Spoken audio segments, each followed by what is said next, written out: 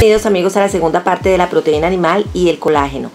Recordemos que para los deportistas en mayor medida que para los sedentarios comer proteína animal es indispensable porque el desgasto de articulaciones, tendones, ligamentos, de fibras musculares, incluso también de los huesos es inminente, especialmente cuando realizamos ejercicios ya sea aeróbicos o anaeróbicos de cualquier tipo.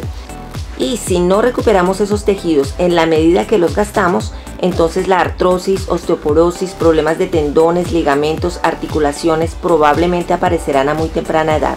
Del video anterior quedaron claros ciertos puntos clave. Recordemos. Todos, absolutamente todos los tejidos de nuestro cuerpo son proteína.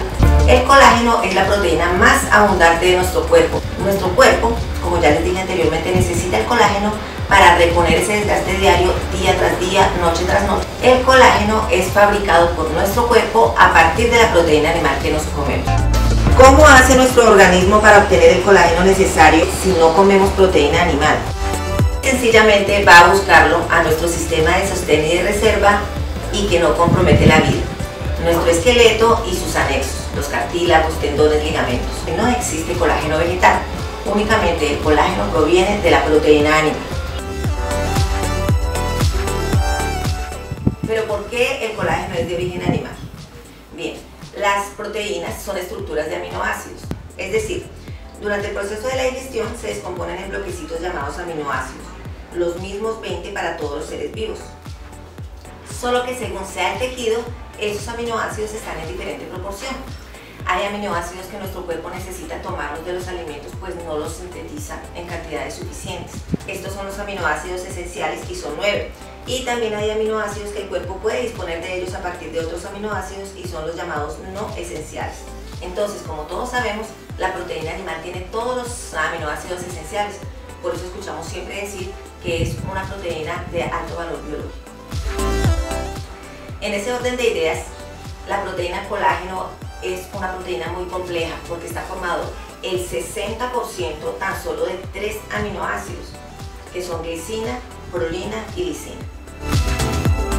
De glicina está, formada, está conformando el 30%, de prolina el 20% y de lisina el 10%. Y esta proporción la hace demasiado compleja y súper importante para tener en cuenta en nuestra alimentación, porque recordemos una y otra vez, con el colágeno reponemos el desgaste diario, nos movamos o no desgaste de tendones, articulaciones, ligamentos, el desgaste mental, etc. ¿Qué suplementos necesito para fabricar colágeno? Bien, fuera de suministrar la proteína animal, nuestro organismo necesita también de vitamina C para fabricar el colágeno, puesto que nuestro organismo tampoco tiene bodegas para acumular la vitamina C. Y hay que proporcionársela porque es importantísima para la síntesis de las proteínas.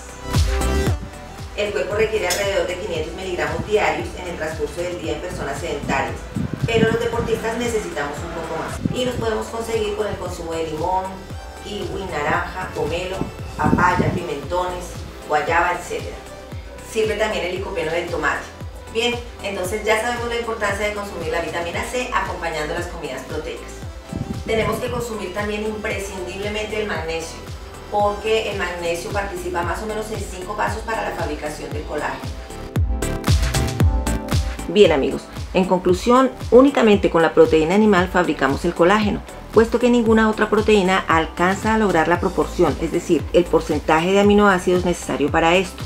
Recordemos, el 60% del colágeno está compuesto por tan solo 3 aminoácidos. Glicina 30%, prolina 20% y lisina 10%. Entonces ninguna otra proteína alcanza este porcentaje de manera adecuada y equilibrada para una buena digestión sin efectos negativos.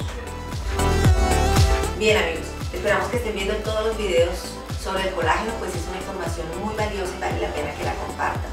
Un abrazo.